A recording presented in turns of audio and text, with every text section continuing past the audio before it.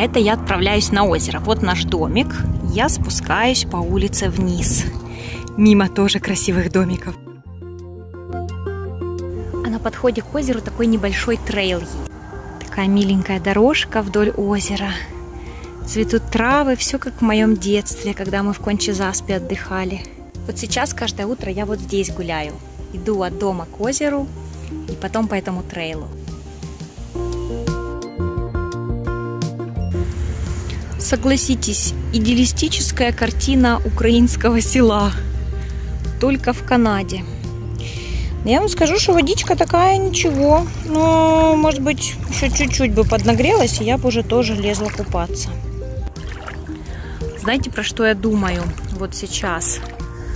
О том, что я сейчас реально, когда вот мы переехали в дом, наверное, впервые в моей жизни я живу в том месте, в котором я хочу жить.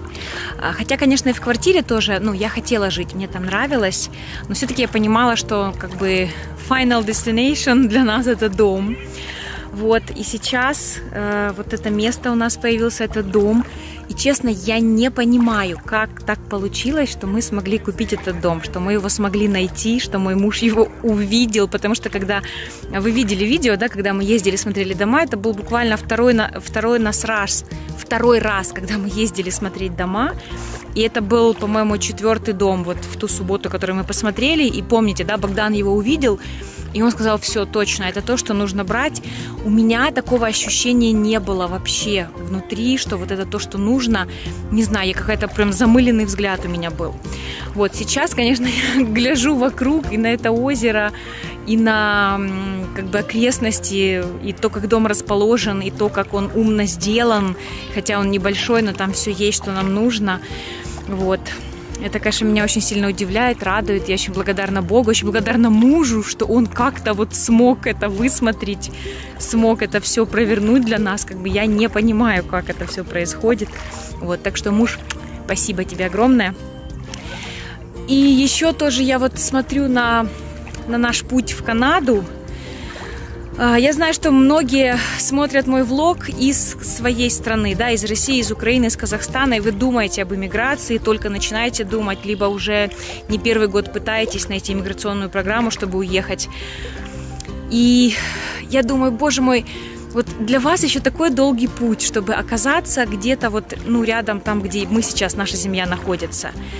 Вот. И на самом деле, да, это был долгий путь, но это был путь такой шаг за шагом, который мы проходили – сначала надо было найти программу, потом, потом надо было правильно составить документы, потом надо было подавать, потом надо было подавать еще, потом надо было ждать одни документы, потом вторые, потом третьи, потом покупать билеты. То есть на самом деле это такие маленькие шажочки, и если их не делать, то ну, ничего происходить не будет. Вот, поэтому если вы хотите уехать в Канаду, если вы чувствуете, что это для вас, опять же, это не для всех, иммиграция это сложно очень, это не всем подходит, и я лично знаю несколько семей, вот, которые рядом с нами жили, которые приехали, порадовались и уехали, они не смогли адаптироваться, вот, поэтому это не для всех, но если вы хотите, если видение вашей семьи в том, чтобы ехать, то помните, что это все маленькие шажочки. Надо делать один шаг за следующим шагом. И постепенно вы придете туда, куда вы направляетесь, если будет Божья воля. Вот, поэтому наш такой путь был длинный, наверное, где-то активных было три года до переезда в Канаду, и вот сейчас два года мы уже в Канаде. Вот, и сейчас уже как бы пожинаем плоды нашей иммиграции. И тоже интересно, что переехать в Канаду, э, это как бы не но для меня, например, это не самое главное. Ты приезжаешь, и ты никого не знаешь, у тебя нет окружения, у тебя нет друзей, у тебя нет церкви, у тебя нету вот всего своего. И опять же, многие люди не выдерживают, они не могут найти окружение для себя, они не могут найти друзей, людей по сердцу, они тоже опять же уезжают. Вот. Для меня, например, тоже это был длинный период в два года, когда я искала друзей, когда я вкладывала в дружбу по чуть-чуть, когда я искала друзей среди русскоговорящих э, иммигрантов и среди англоязычных канадцев, которые здесь живут. Когда я э, пробовала дружить, потом что-то не получалось, потом что-то получалось. Поверьте, у меня столько было слез, и столько было падений, и столько было разочарований, вот. Но, опять же, то, что я вижу, маленькие шажочки, они шаг за шагом, они работают. Если продвигаться, например, к иммиграции шаг за шагом, вы будете продвигаться вперед, к дружбе новой, к новой работе, там, к покупке дома. Все это потихоньку-потихоньку возможно.